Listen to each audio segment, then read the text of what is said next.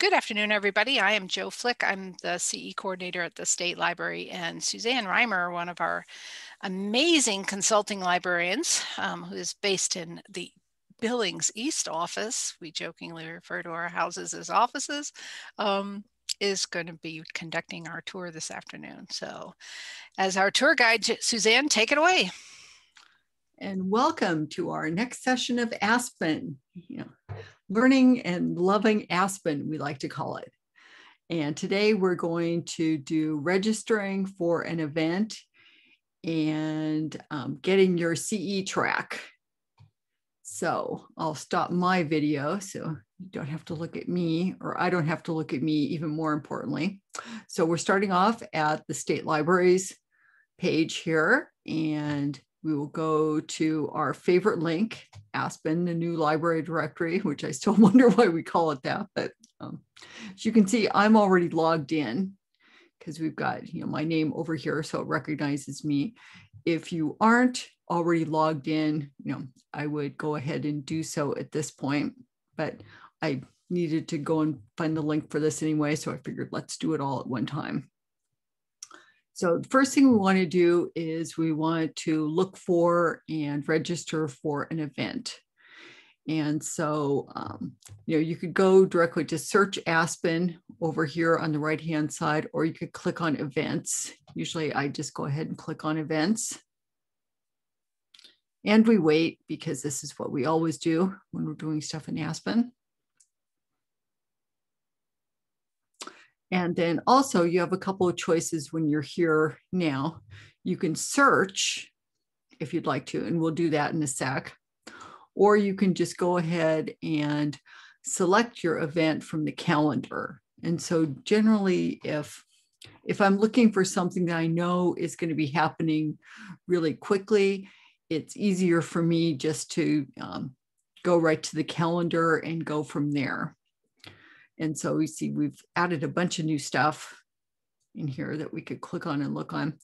I'll do one as an example just to show you on here, the Trails webinar, because there's something a little bit unusual about this one.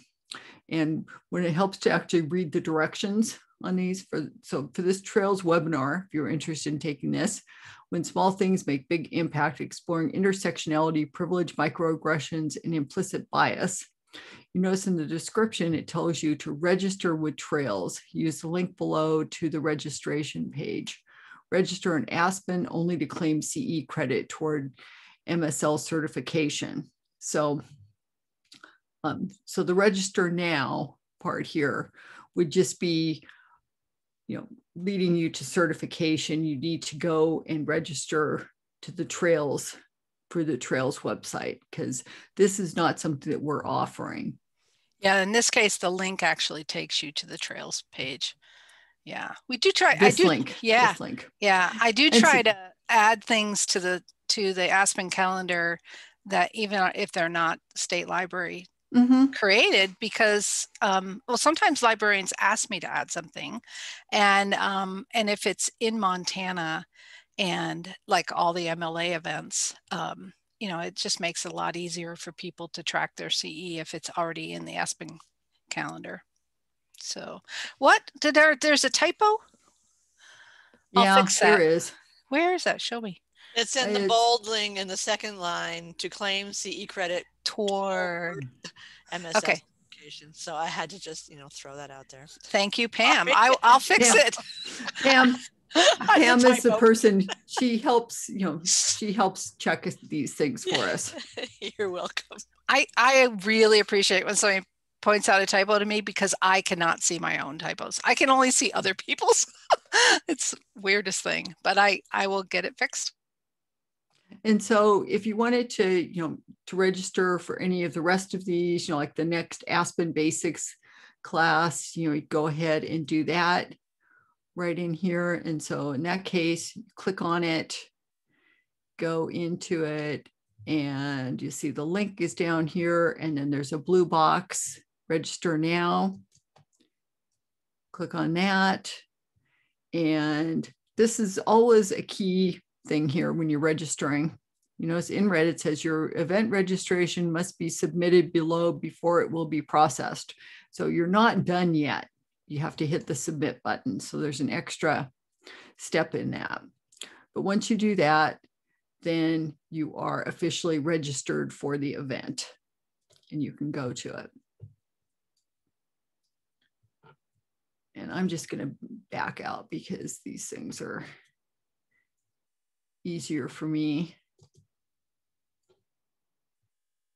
Now, if you're looking for something that's a little bit further in advance, you might want to search for it. So let's say um, I've heard something about a Directors Institute. So let's just try typing that in.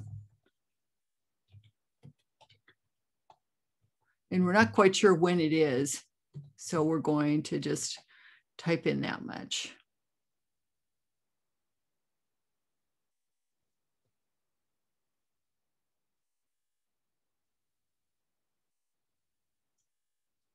And you see it comes up below the calendar. And this is one of those kind of interesting things. Now, what's nice here is that the um, the one that I'm actually looking for came up first. When I was playing around with this yesterday, I had to scroll through a couple different screens to get it because um, the sorting on here is kind of kind of different. But um, in this case, this is the one I'm looking for. So pay attention to dates because you'll see it comes up with both current and former things. Now, since I want to register, I'll go ahead and click on this one. And this is a good chance for me to register for this anyway. And hopefully some of you will be interested in registering for this as well. See, this is coming up August 30th and goes through September 2nd. And going on down, it tells you this is, you know, this is a biggie. This is 24 credits in library administration. And there's more information on it. including an entire schedule. This is a good one to show. It's quite, uh, it's unusual because it has a pretty detailed form involved. Yeah. Now, in this case, there's all kinds of things to fill in. This is not, you know, a lot of ours, you need to, you just need to, you know, click on registration and there's nothing else on there. In this case, we want, you know, lots of information from you.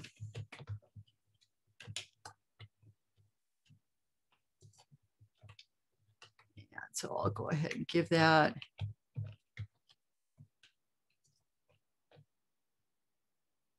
Yeah. Now, if you notice what's required though, only the little things with asterisks are required. Other things aren't. Which did you mean for that to be, Joe? Yes, but I'll probably okay. get get after them for um, the rest of the information. Yeah. Well, I'm going to just add my mobile number because that is actually my library number as well.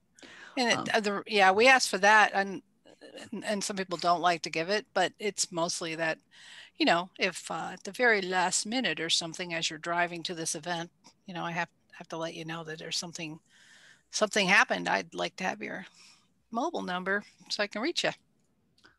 Dietary restrictions, accessibility, and acceptance. And we all know, right? Whenever you get one of these, that there's all of this, you will read through and you will thoroughly digest all of that information and not just do like I'm doing and do a click.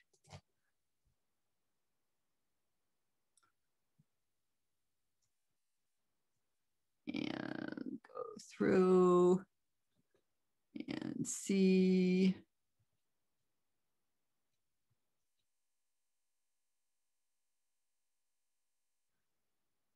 save, and then submit. And you just demonstrated one of the key best practices in Aspen, and that is to always scroll to the bottom of the page and look for that submit button. So, um, yeah. And because remember, you know, that first thing where you register, you know, is not it. You need to go through all the way and hit the submit. And like Joe said, it may be clear at the bottom. So you have to do a little bit of scrolling. So before we move on, um, any questions about event registration on that? Hopefully you've all already done this. So this isn't anything new on that.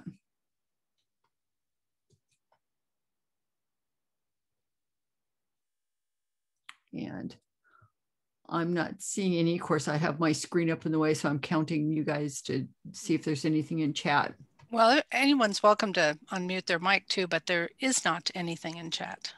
Okay, good. So that is, you know, searching and registering for an event. So the next thing we're going to do today is um, selecting your CE track. And to do that, you know, you start off with Aspen, you know, logging into Aspen, and you go into Aspen admin. Isn't that right? Isn't that where we start on this? Let's make sure. Yes. No, that's I where think I start on this. It, that's you, where I start on this. so I agree. You can go to the continuing education button on the right hand side at any time. But it's what's interesting about this page, Suzanne, is that whatever track you have either completed has and has been issued to you or is in the process is um, already displayed on your Aspen admin page in that gray box underneath your lovely think, photo. And I think that's why I started on this page, you know, because, you know, you could see what I've already selected and what I've already finished. And then, you know, this is how I get there, you know, which may not be the, you know. There's always more, more than one way to do something in exactly. Aspen. Yeah. And so um, then this gets me into continuing education.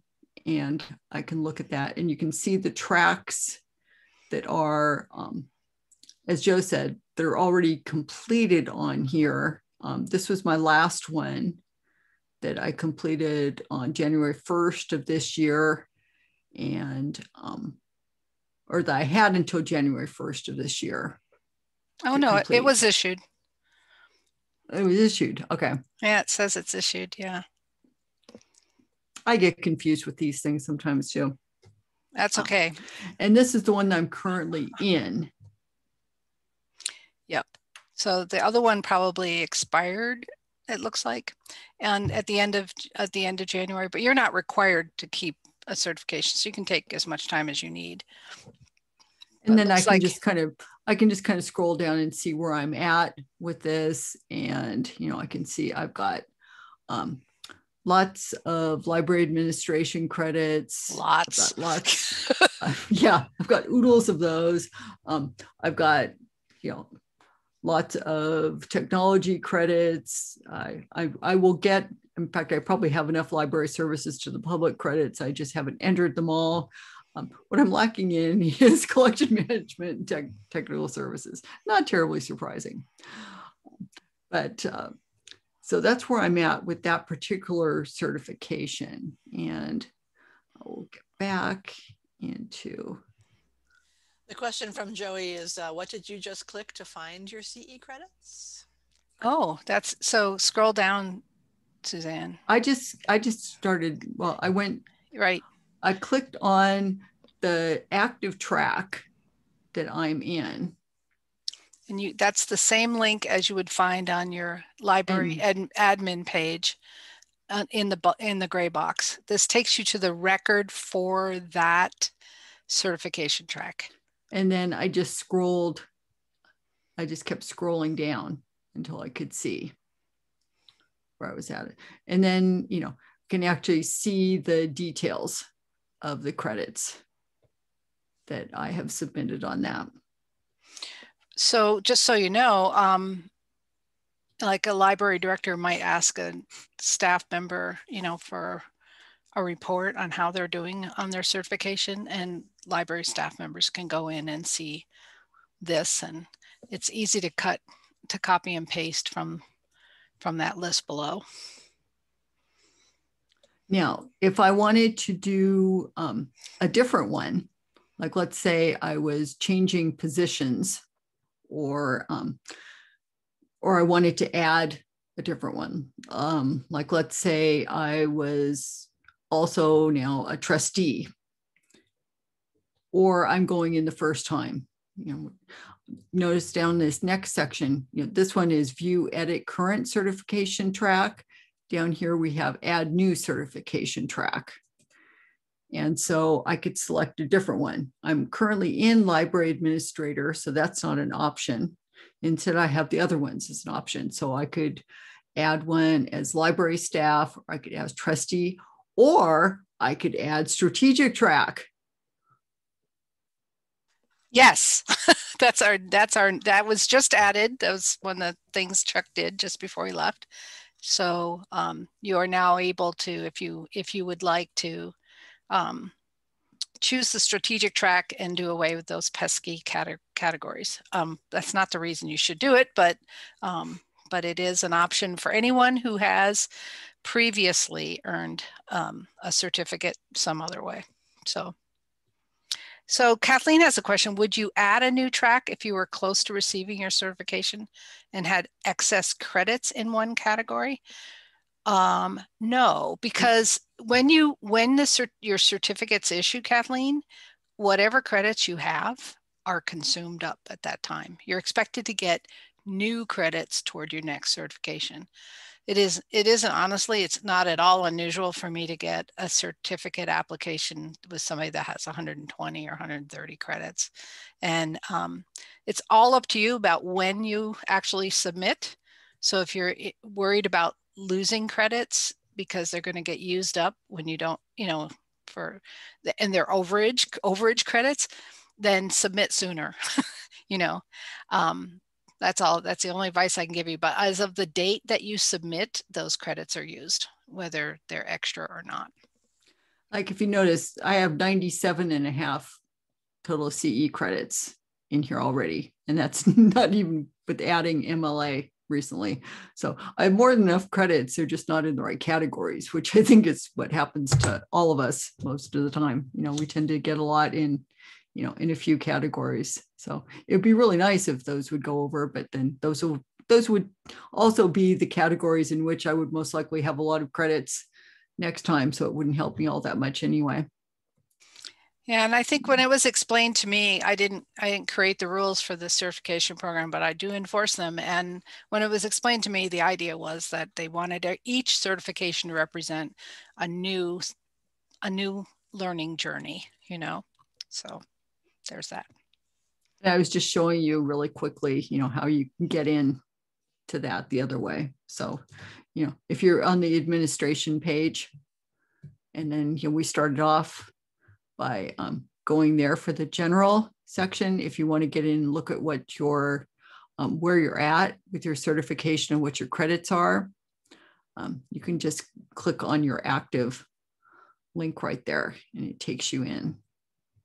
And then once again, you can scroll down to the bottom and see where you're at with the credits. So any other questions?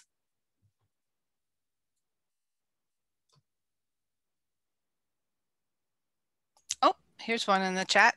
Yeah, Kathleen has another one. I was thinking that basically you would start your new certification before submitting your current one. Yeah, but it won't work that way um, because when you're whenever your issue your certificate is issued, Aspen will use your issue date as the start date for your next certificate. So you can't like overlap different tracks. It's actually smart enough to know that Aspen is so for instance, you only need three more credits total, but they have to be in technology and you attend a live webinar for library services. Oh, well, here's one way you can do that. You can beat the system, Aspen's system. Ooh. Just no, it's not really beating the system. If you're if something like that happens, I would recommend not putting those credits in until after your certificate is issued. And um, the current the current one that you're just finishing up, save those credits, put them aside. Don't don't enter them. Um, if you have come to one of our events and we've taken you taken your attendance you're out of luck because that's recorded on that date or close to that date. But if it's something that you're attending a conference outside of the state library you could save those credits and enter them later. That's perfectly acceptable. Does that answer your question kathleen? It's a really good question by the way okay Cool. Yeah. Strategies. Actually, I, you know, people ask me sometime, you know, is there any advantage to submitting your certification early? And that's the only one really is that, you know, then maybe, but every time you submit your certification, you have only four years to submit the next one. So it's really a personal choice. You can, I know people who wait until the end of that four year period to submit and some that submit every time they have 60 credits and they're eligible to submit again. So it's totally up to you. Just as long as you get it in within that four year time. Or shortly thereafter. We're not we're pretty pretty lax. There's sort of a built-in one year grace period for library directors who are required to get certified um, all they have to do is request a deferment and the state librarian will issue an automatic one-year deferment. But the only problem with that is then you're only going to get three years the next time to, to recertify. You don't get you don't get four years again. You only get three years the next time. So you're eating into your your next renewal period. So it's always good to to recertify pretty much on time. And with so much available online, you know, there's really, you know, there's a lot of opportunities for getting CE. Yeah, and I always tell people the favorite part of my job as a CE coordinator is to um, is to tell people where to go. I don't mean tell people where to go, but to tell them where to go to find good, good, free continuing education on a topic they're interested in. So ask me.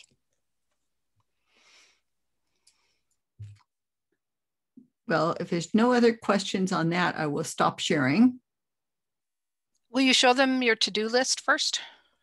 Just real quick. It's on the Aspen admin page. Because you did just register for the Directors Institute, so it should be there. There it is. So this is the one that we're currently in which is still listed as to do, but I guess, you know, since it's ongoing. And then what I just registered for, um, for course number six, because I hate to miss any of these Aspen courses. And then the Public Library Directors Institute. Weird that it displays out of order like that. Yeah. Well, yeah.